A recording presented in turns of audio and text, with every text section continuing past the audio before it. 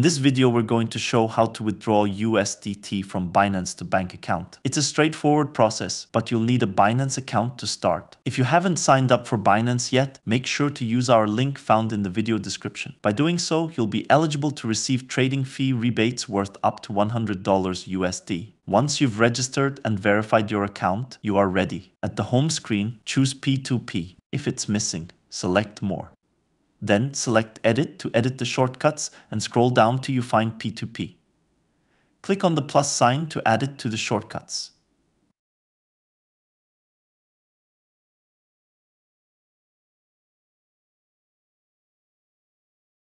Now go back to the home screen and select P2P.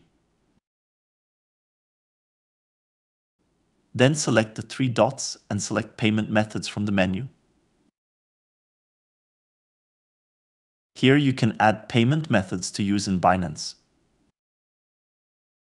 Scroll down or search for the bank you are using and add it.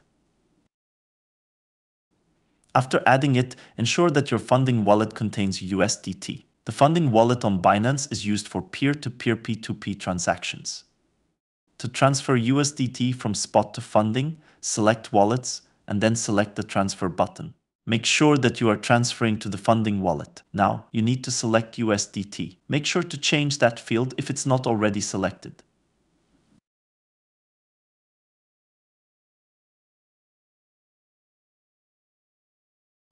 Then choose the amount you want to transfer.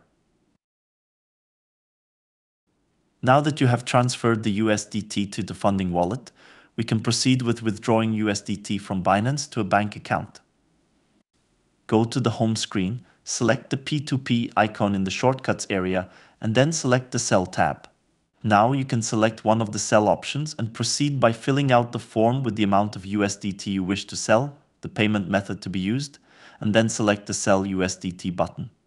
That's it. If you have any questions, please don't hesitate to leave a comment below.